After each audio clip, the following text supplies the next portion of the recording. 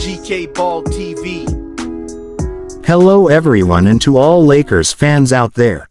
This news could shock the entire Lakers fans watching this video. Lakers news. Darvin Ham doesn't want D'Angelo Russell to defer to LeBron James and Anthony Davis and YX Russell Westbrook guard choose to play along with Kawhi Leonard and PG-13 Paul George. Let's watch this until the end here in JK Ball TV.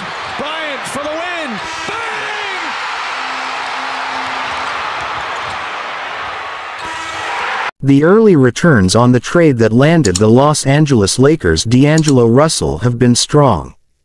In just one game with both Russell and LeBron James, the Lakers dismantled the New Orleans Pelicans 120-102 with Russell, James and Anthony Davis combining for 70 points on 25 of 43 from the field with all three being a plus 14 or better.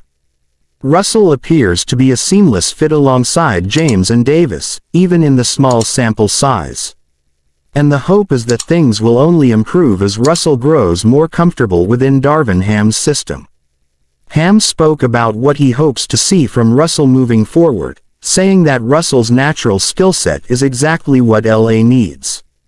Once he gets more familiar with our movement offense and different things we want to get done in the half-court, just being regular old DLO, Ham said. A really good pick and roll player, a really good shooter, really not gonna have to force anything. Just play within the flow of everything we're doing and just be assertive. You run into that problem with LeBron and AD on the floor sometimes where guys tend to defer, defer, defer. But we want him to be aggressive and do what he does. Russell is shooting a career-high 39.0% from 3 this season and is still averaging 6.2 assists per game despite being the odd man out with the Minnesota Timberwolves to begin the season. Russell undoubtedly is a better fit in LA's scheme. It also shouldn't take long for Russell to get comfortable, as he's already familiar with the Lakers franchise and should have significantly more space to work with than he did with the Timberwolves. Having former teammates in Malik Beasley and Jarred Vanderbilt should help as well. Russell is a great point guard for Ham's system with his ability to shoot the three, defer when necessary and score in a number of ways. James and Davis have not had a point guard with a fit as good as Russell's during their time together in LA. James optimistic heading into All-Star break. While the All-Star break is always welcomed in the NBA, James wants to use the time to focus in on the stretch run and what the Lakers can accomplish in that time. He spoke about his mindset regarding the team prior to the break. I want the guys to enjoy the break but don't get 100% detached because we want to come back and try to keep this thing going. I feel really good about what we have brewing, but it's going to take a lot of commitment from us going down the stretch so I'm looking forward to that.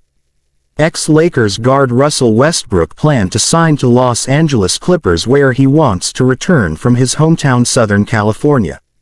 The Russell Westbrook era with the Utah Jazz ended before he played a single game, and his next chapter will be with the Los Angeles Clippers, his agent Jeff Schwartz told ESPN's Adrian Wojnarowski on Monday.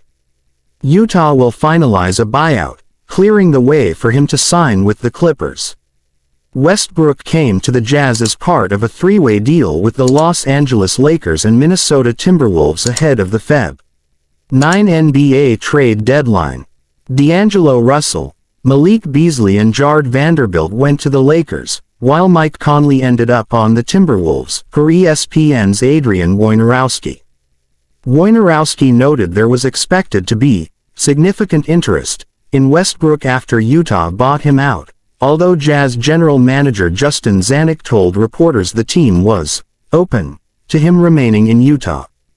Westbrook is an intriguing case study for the Clippers ahead of the playoff push. On the one hand, he is a future Hall of Famer who was one of the best players of his generation in his prime.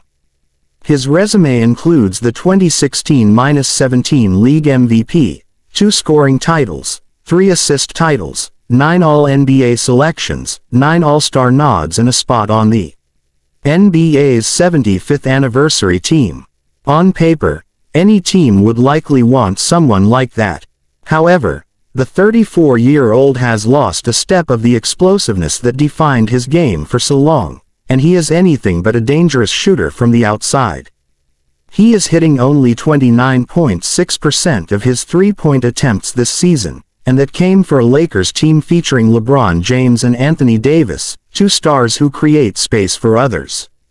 Westbrook's time with the purple and gold can only be classified as a disappointment in part because of that shooting.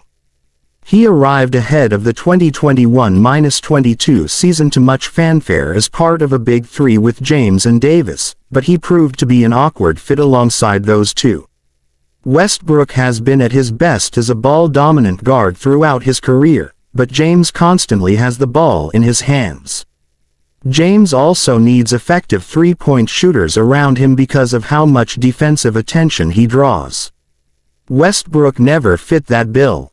While Westbrook found some success this season coming off the bench to anchor the second unit, the version of him that was so dominant during his time on the Oklahoma City Thunder was never a consistent presence on the Lakers. This buyout gives him a chance to join the Clippers ahead of a potential playoff push. He will look to rediscover his form as a game-changing playmaker. The Clippers signed John Wall as a high-profile backup point guard this offseason, but they sent him to the Houston Rockets ahead of the trade deadline. Westbrook can now fill that role of a high-profile backup point guard, and he doesn't even have to change cities after his time on the Lakers. Although Westbrook is now set to become teammates with Kawhi Leonard and Paul George, he'll still have to address some of the same concerns that arose during his Lakers tenure. However, he also ISN. That's all for today's video I hope you enjoy watching this video. Please subscribe, share and click the notification bell for more news and update. Salamat po.